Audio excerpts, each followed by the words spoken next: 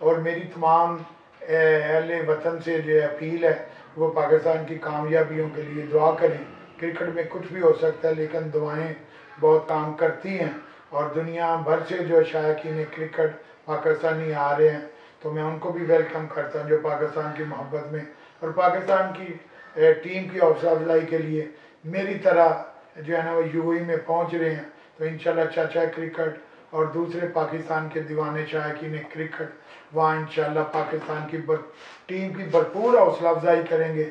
और इन हमारी दुआ है कि इस दफ़ा हिस्ट्री तब्दील हो और पाकिस्तान जो है ना टी ट्वेंटी वर्ल्ड कप में इंडिया के खिलाफ मैच जीते और इन वर्ल्ड कप जीत के आए और पाकिस्तान की टीम जो पाकिस्तान का नाम रोशन करके आए।